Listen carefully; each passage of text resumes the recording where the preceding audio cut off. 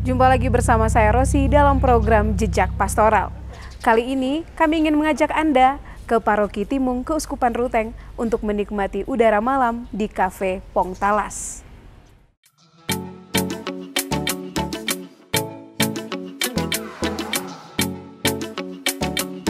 Cafe Pong Talas dibangun dengan konsep hiburan yang ramah lingkungan.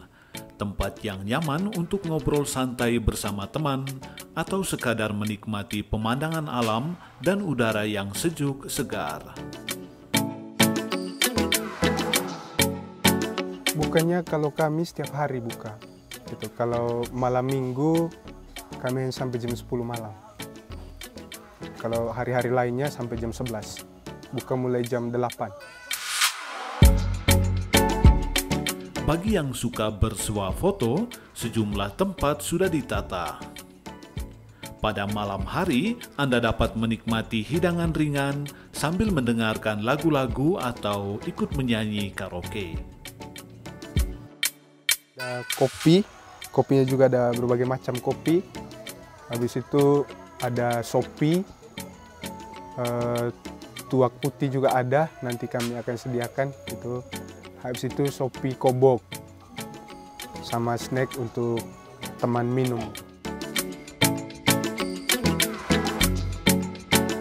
Sini tempatnya nyaman alami sejuk. Jadi kalau sudah bosan di rumah lebih baik refreshing di sini karaoke. Ini tempat yang bagus untuk karaoke juga. Kebetulan saya juga suka suka karaoke dan di sini tempatnya bagus juga untuk karaoke untuk minum-minum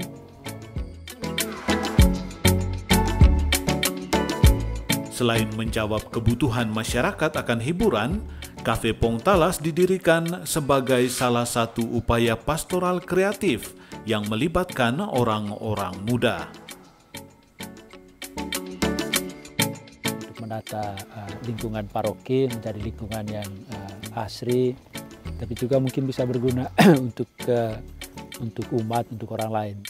Dan kami melihat ya memang ada satu uh, kerinduan ya ataupun kebutuhan umat akan ya, hiburan, tempat-tempat rekreasi, tempat bisa berkumpul. Maka saya kemudian mengajak ya orang-orang muda yang selalu bersama di sini pada saat itu untuk menata tempat ini.